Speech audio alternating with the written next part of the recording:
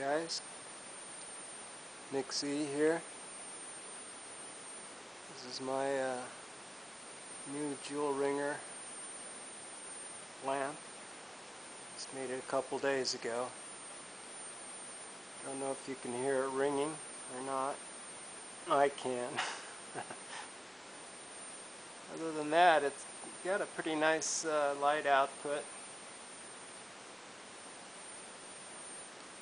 Got a 65 watt bulb in it, CFL.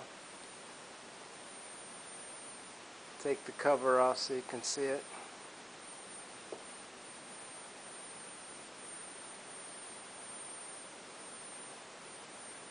I don't know if that's too blinding.